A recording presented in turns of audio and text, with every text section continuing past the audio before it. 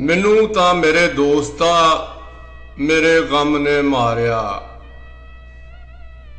ਹੈ ਝੂਠ ਤੇਰੀ ਦੋਸਤੀ ਦੇ ਦਮ ਨੇ ਮਾਰਿਆ। ਮੈਨੂੰ ਤੇ ਜੇਠ ਹਾੜ ਤੇ ਕੋਈ ਨਹੀਂ ਗਿਲਾ। ਮੇਰੇ ਚਮਨ ਨੂੰ ਚੇਤ ਦੀ ਸ਼ਬਨਮ ਨੇ ਮਾਰਿਆ। ਮਸਿਆ ਦੀ ਕਾਲੀ ਰਾਤ ਦਾ ਕੋਈ ਨਹੀਂ ਕਸੂਰ। ਸਾਗਰ ਨੂੰ ਉਹਦੀ ਆਪਣੀ ਪੂਨਮ ਨੇ ਮਾਰਿਆ। ਇਹ ਕੌਣ ਹੈ ਜੋ ਮੌਤ ਨੂੰ ਬਦਨਾਮ ਕਰ ਰਿਹਾ ਹੈ? ਇਨਸਾਨ ਨੂੰ ਇਨਸਾਨ ਦੇ ਜਨਮ ਨੇ ਮਾਰਿਆ।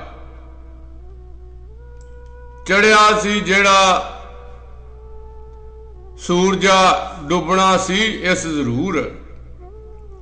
ਕੋਈ ਝੂਠ ਕਹਿ ਰਿਹਾ ਹੈ ਕਿ ਪੱਛਮ ਨੇ ਮਾਰਿਆ? ਮੰਨਿਆ ਕਿ ਮੋਇਆ ਮਿੱਤਰਾਂ ਦਾ ਗਮ ਵੀ ਮਾਰਦਾ ਹੈ। ਬਹੁਤਾ ਪਰ ਇਸ ਦਿਖਾਵੇ ਦੇ ਮਾਤਮ ਨੇ ਮਾਰਿਆ। ਕਾਤਲ ਕੋਈ ਦੁਸ਼ਮਣ ਨਹੀਂ, ਮੈਂ ਠੀਕ ਆਖਦਾ।